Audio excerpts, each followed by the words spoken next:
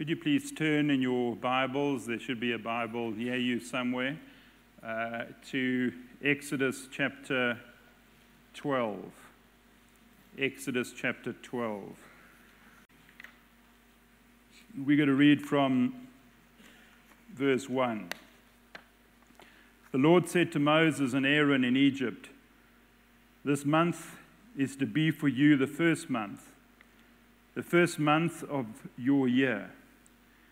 Tell the whole community of Israel that on the tenth day of this month, each man is to take a lamb for his family, one for each household. If any household is too small for a whole lamb, they must share one with their nearest neighbor, having taken into account the number of people there are. You are to determine the amount of lamb needed in accordance with what each person will eat. The animals you choose must be a year old, year old males without defect, and you may take them from the sheep or the goats. Take care of them until the 14th day of the month, when all the members of the community of Israel may slaughter them at twilight. Then they are to take some of the blood and put it on the sides and tops of the door frames of the houses where they eat the lambs. That same night they are to eat the meat roasted over the fire, along with bitter herbs and bread made without yeast. Do not eat the raw meat or boiled in water. Sorry, do not eat the meat raw or boiled in water, but roasted over a fire with the head, legs, and internal organs. Do not leave any of it till morning. If some is left till morning, you must burn it. This is how you are to eat it with your cloak tucked into your belt, your sandals on your feet, and your staff in your hand. Eat it in haste. It is the Lord's Passover. On that same night, I will pass through Egypt and strike down every firstborn of both people and animals, and I will bring judgment on all the gods of Egypt. I am the Lord. The blood will be a sign for you on the houses where you are. And when I see the blood, I will pass over you. No destructive plague will touch you when I strike Egypt. This is a day you are to commemorate for the generations to come. You shall celebrate it as a festival to the Lord, a lasting ordinance. May God bless that word to us this morning. Then, can we please turn to Mark's Gospel, chapter 15?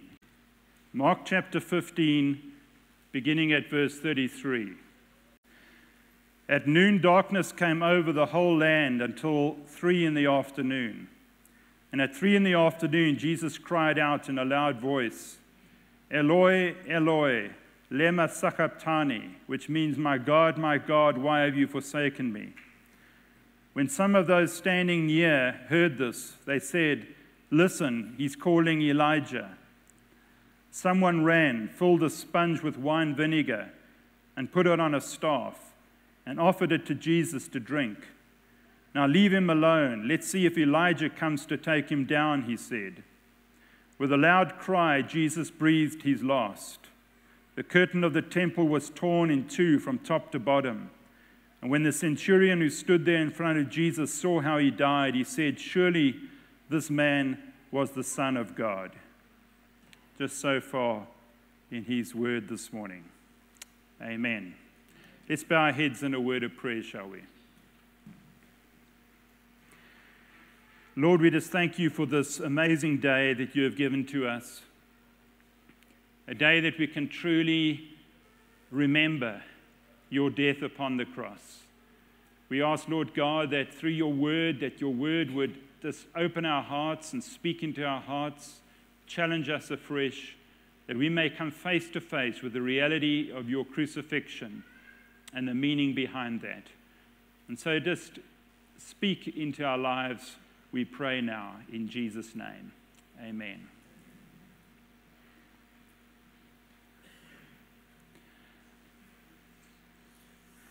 The lamb is a well used image in Scripture.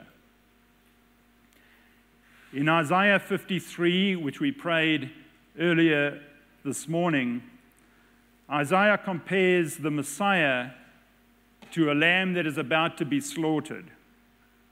Why a lamb, we may ask? Well, just think of what sentiments come to mind when you think of a lamb. Words like gentle, timid, helpless, innocent are words that are conjured up in our minds when we think of a lamb. Compare that with the image of a snake, used as a symbol for the devil in Scripture. From very young, children instinctively love lambs and fear snakes. Let's go to one of the earliest references to a lamb given in the Old Testament, in Exodus chapter 11 and 12. The Jews are in captivity in Egypt a story that we are probably all familiar with. They've been there for some 400 years, living in the harsh and brutal conditions under the oppressive rule of their cruel Egyptian taskmasters. And God raises up a leader in Moses to deliver his people from captivity. God tells Moses to go before the Pharaoh with his message let my people go. But Pharaoh refuses. Over and over again, Moses confronts Pharaoh with the same message until ultimately God intervenes and he sends a number of plagues that will cause Pharaoh to change his mind. He turns their water into blood. He sends a plague of frogs, gnats, flies, pestilence, boils, hail, locusts, and ultimately he sends complete darkness. This last judgment was a direct assault on Ra, the sun god of Egypt. The last judgment was really to show Pharaoh that his God, his representative, was no match for the Almighty Jehovah God. And so the place was covered in darkness, even though they worshiped the God of, of light. But Pharaoh hardened his heart against God in spite of the suffering of his people. And then Pharaoh tried to bargain with Moses. First, he offered to let the Jews go a short distance into the desert if they would return again. Then he offered to let the men go if the women and children stayed behind. And then lastly, he offered for them to go as long as they left their animals behind. But you see, friends, God does not bargain with pagan rulers. God tells Moses that he will send a plague that will really force Pharaoh's hand.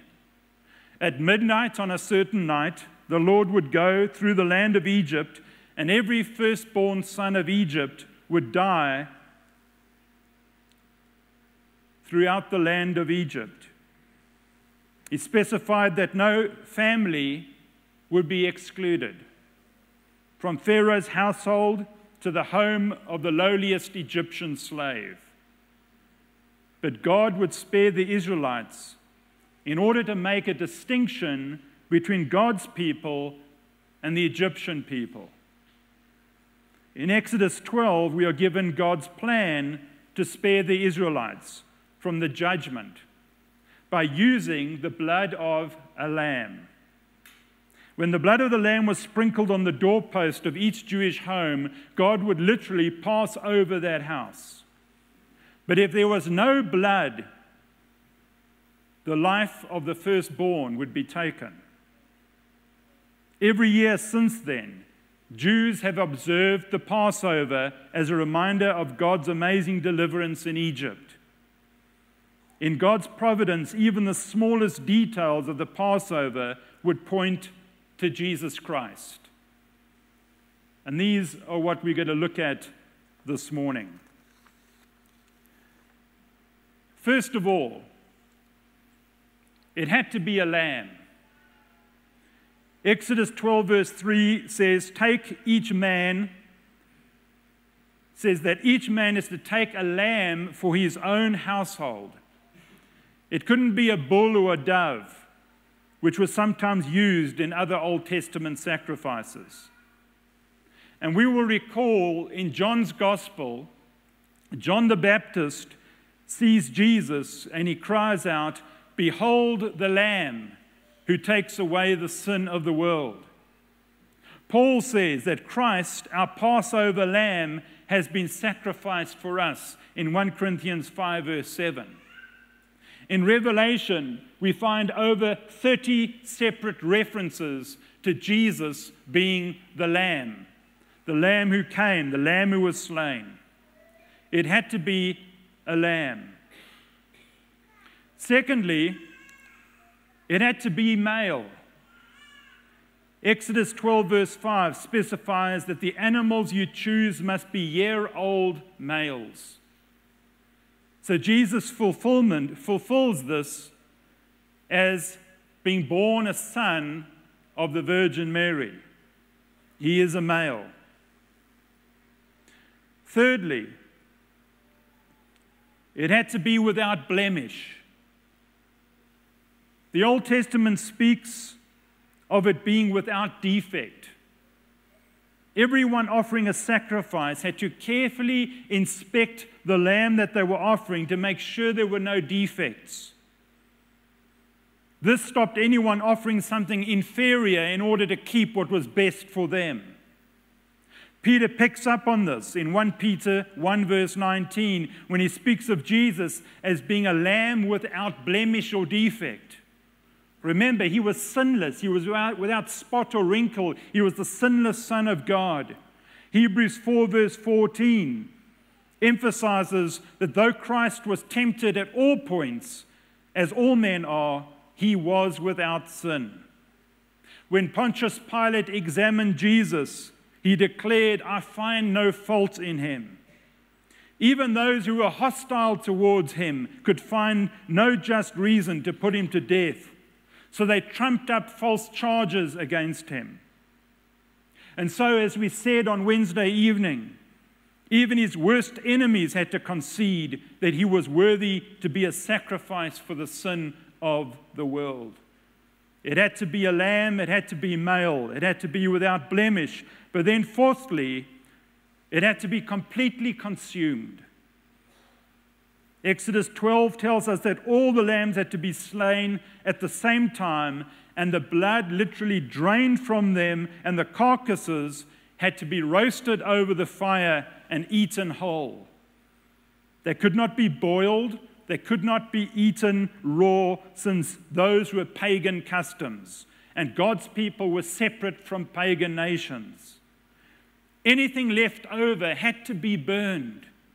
Every time a Jew ate the Passover lamb, they were reminded that their salvation came through the death of a substitute.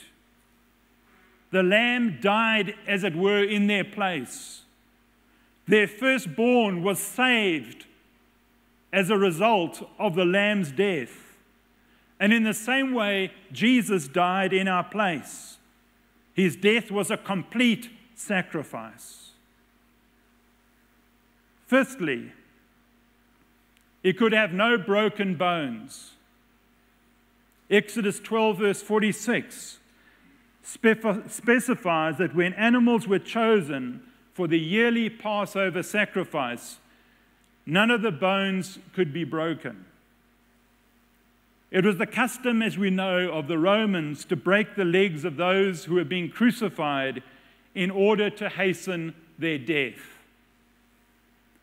And yet, John chapter 19, verse 32 to 36, tells us that the Roman soldiers did not break Jesus' legs because he was already dead.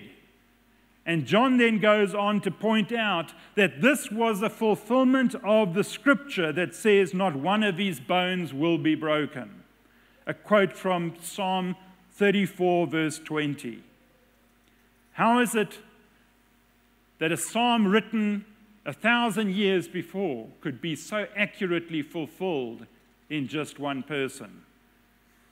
The sacrifice could have no broken bones, as Jesus had no broken bones. Then, number six, it must be offered between the evenings. Now, let me just explain what that means between the evenings.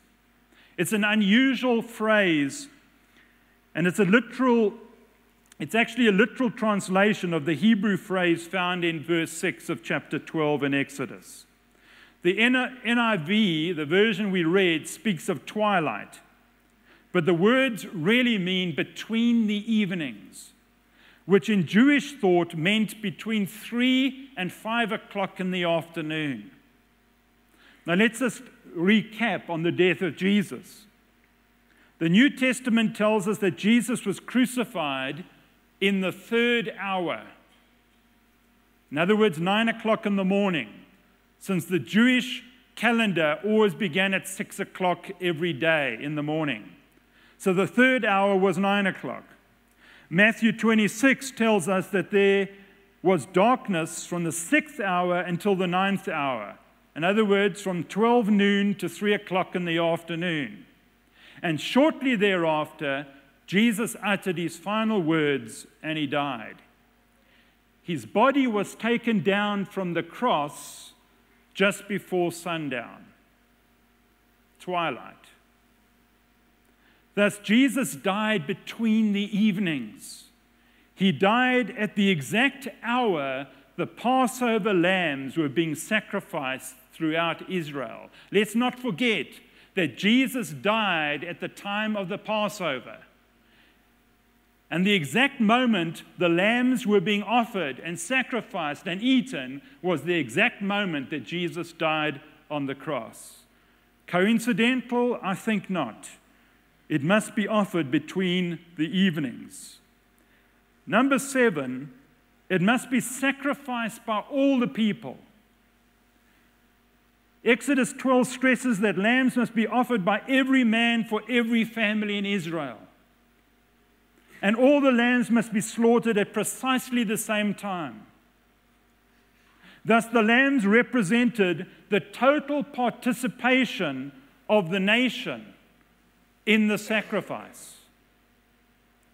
And, friends, by the same token, Christ was crucified by the Romans on behalf of the Jews. Everyone participated in his death. His death was made as a sacrifice for the sin of the entire world. What many lambs did for many people in Exodus, Jesus, the Lamb of God, did for many people in the New Testament. It must be sacrificed by all the people for all the people. And then, number eight, lastly, the blood had to be sprinkled on the doorposts. Now, what does that mean? The writer of Exodus is very explicit in describing the ritual. Once the lamb had been slaughtered and the blood drained, the father had to take a hyssop plant, it is a leafy plant, dip it in the blood, and almost like a paintbrush, sprinkle the blood on top, on the top and the sides of the door frame. This is really a picture of how we appropriate Christ's death on the cross for ourselves. Peter refers to believers in 1 Peter 1, verse 2, as those who have been chosen according to the foreknowledge of God the Father through the sanctifying work of the Spirit to be obedient to Jesus Christ and sprinkled with his blood, he says. And sprinkled with his blood. In other words, he's taking a direct, making a direct reference to what took place in Exodus chapter 12. Now, friends, we've got to understand that the lamb alone, either alive or dead, could not save an Israelite or the firstborn. Not even the blood could save. Only when it was applied to the doorpost could it deliver God's people from this terrible judgment on their firstborn. And the comparison is obvious. Jesus is our only hope for salvation. He is God's lamb offered for the sin of the world. But his blood only avails for us when we appropriate his death by faith in our hearts. Nothing else the Israelites could do would have spared them death. They could have tried any other ritual, and their firstborn would have been struck down. Friends, nothing other than the cross can spare us from eternal death. We have to apply what Christ has done on the cross for us by faith. So, even though we've seen the incredible comparison between the Passover lamb in Exodus and Jesus, the Passover lamb, let's just summarize what the lessons are from what we have been through. The first lesson Jesus Christ is God's Lamb. Jesus is the only person who meets all the qualifications. He fulfills every detail of this Old Testament picture. No other person who has ever lived could meet these requirements. And when the aging Simeon took the baby Jesus in his arms and he blessed him, he said that Jesus would be the cause of the rising and falling of many in Israel, which foretold of how some would follow him and others would bitterly oppose him. And we see that throughout the Gospels. And then he had a word for Mary, and he said, A sword will pierce your own soul too, Mary. It was an early reference to how Jesus' suffering and his death would pierce her soul like a sword. In other words, from the beginning, Jesus was designated as the Lamb that would take away the sin of the world. Even from his birth, even when he was being blessed, he was already designated as God's Lamb. Then, secondly, there is no salvation without sacrifice. Hebrews 9, verse 22 tells us Without the shedding of blood, there can be no forgiveness of sin. Without the shedding of blood, there can be no forgiveness of sin. Jesus' friends had to die. His blood had to be shed in order to pay the price for our sin. For without the shedding of blood, there can be no forgiveness. That is why he had to die. That's why his blood had to be shed.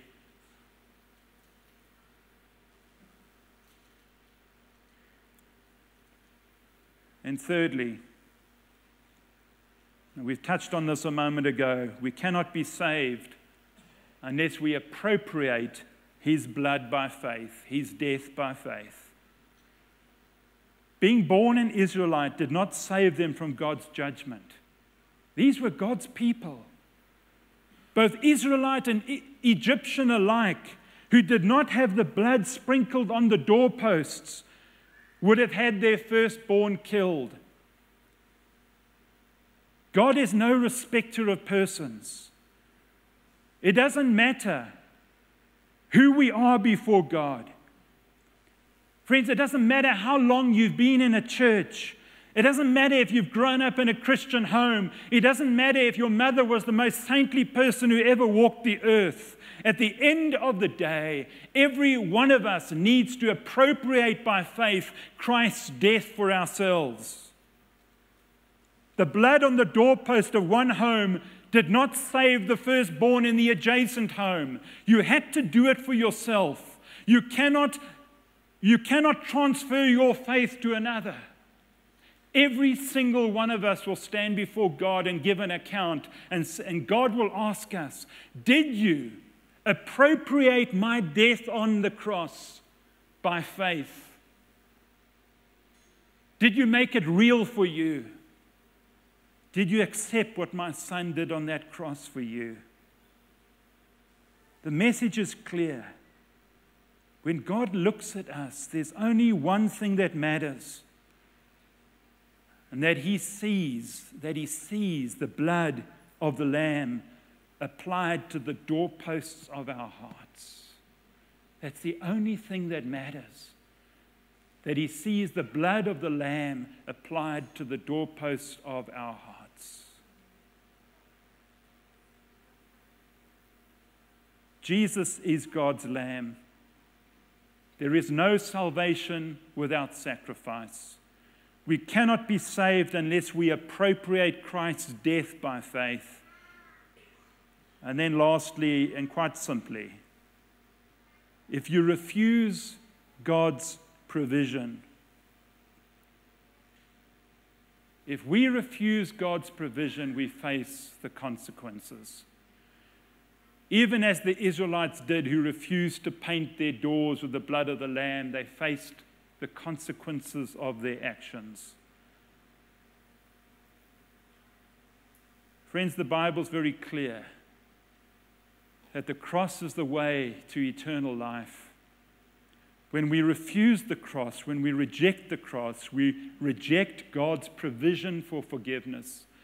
We reject God's provision for eternal life and we face eternal consequences. We need to focus on the Lamb of God, as John did, who takes away the sin of the world. Many years ago, there was a musician by the name of Ray Boltz who sang a song called Watch the Lamb. And we're going to play that song now. I want you to look at the words up on the screen, and then I'm just going to spend half a minute at the end just wrapping all of this up. Let's watch the screen.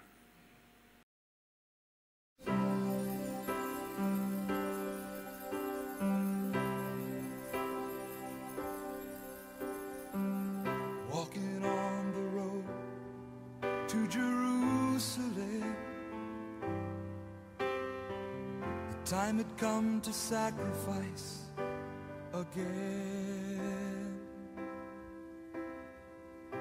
My two small sons, they walked beside me on the road.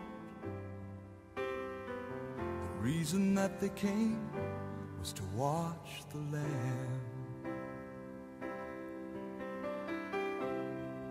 Daddy, Daddy, what will we see there?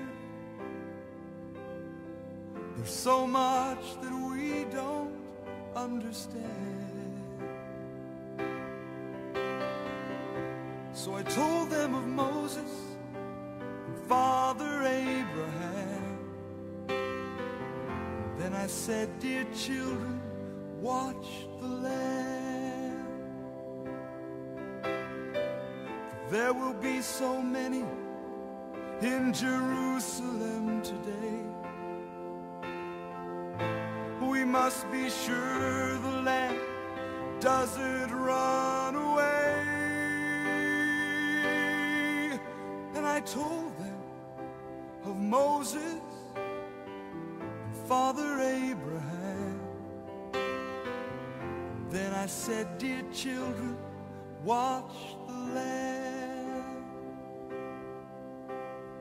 And when we reached the city, I knew something must be wrong. There were no joyful worshipers, no joyful worship songs. I stood there with my children in the midst of angry men. Then I heard the crowd cry out.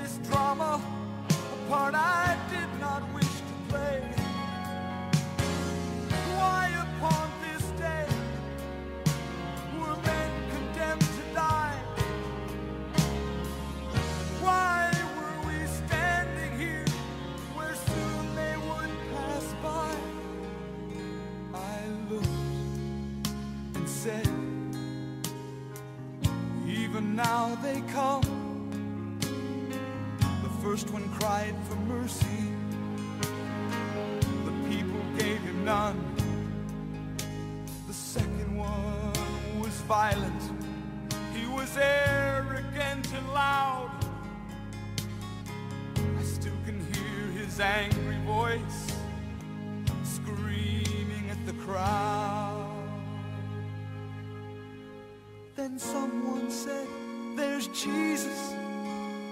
I scarce believe my eyes. A man so badly beaten, he barely looked alive.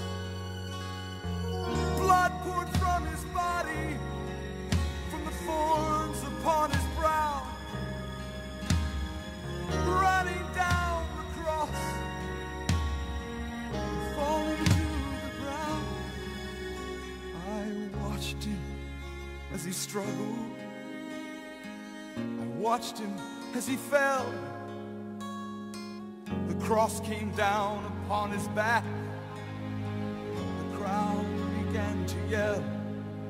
In that moment, I felt such agony. In that moment, I felt such loss. Until a Roman soldier grabbed my arm and screamed,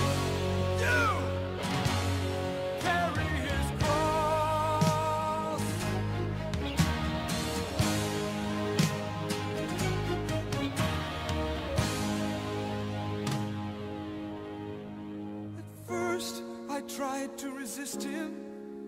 Then his hand reached for his sword. And so I knelt and took the cross from the Lord.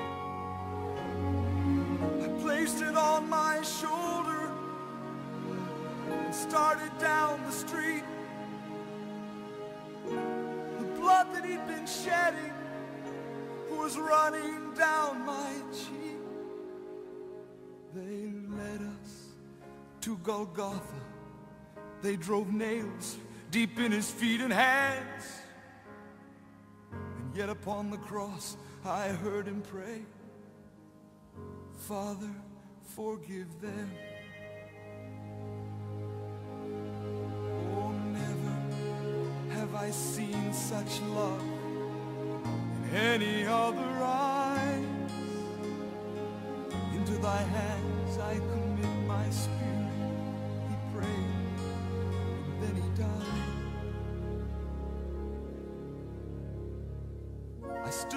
what seemed like years. I lost all sense of time until I felt two tiny hands holding tight to mine. My children stood there weeping. I heard the oldest say, Father, please forgive us.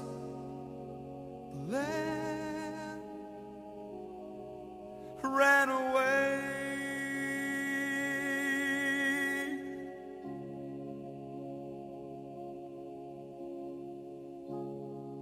Daddy, Daddy, what have we seen here? There's so much that we don't understand. So I took them in my arms we turned and faced the cross. Then I said, Dear children, watch the Lamb.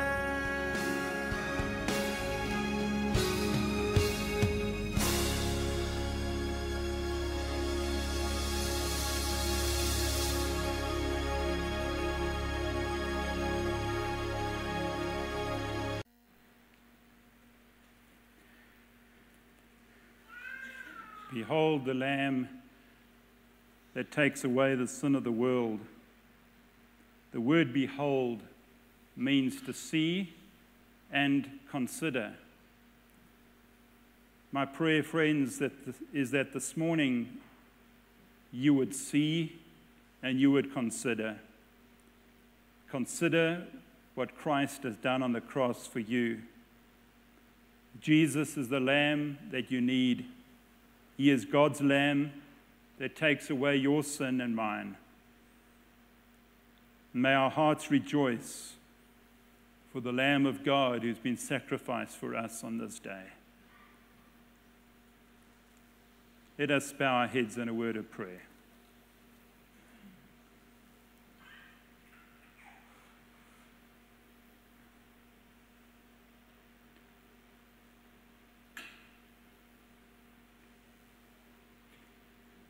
Lord, we just thank you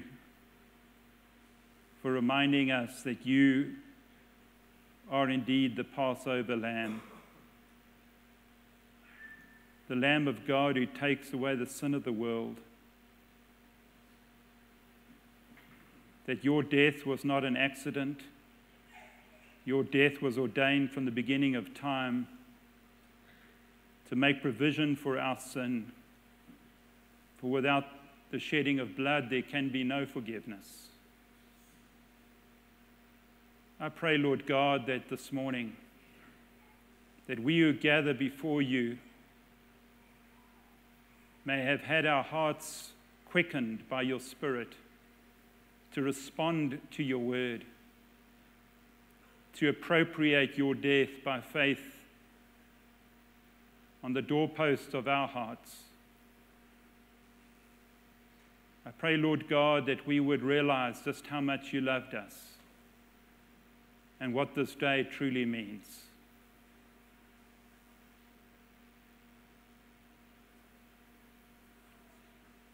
I just feel led this morning to perhaps pray a prayer for those of you who have never taken that step of faith, who've never asked Jesus to come into your life as your Savior and Lord. And somehow this morning you know that He is the Lamb of God who takes away your sin and you know that God is calling you to Himself, He's calling you to make an eternal decision, decision that has eternal consequences. Won't you receive Him as your Savior? Won't you receive the sacrifice that He made on your behalf? If you're at that place this morning, I simply want to pray a prayer, and I want you just to pray it quietly in your heart before the Lord. And then I'll explain what we will do thereafter. Let's just pray together. If you want Jesus in your life and you want to take hold of what he did on that cross for you, Lord Jesus, thank you for dying on the cross for me. Thank you that you love me. And you purchased a place for me in heaven with your precious blood. I appropriate your death by faith. I turn from my sin and I ask Jesus that you would come into my life. That you would enable me to walk with you each and every day. Help me each day to watch the Lamb. Come into my life, Lord Jesus.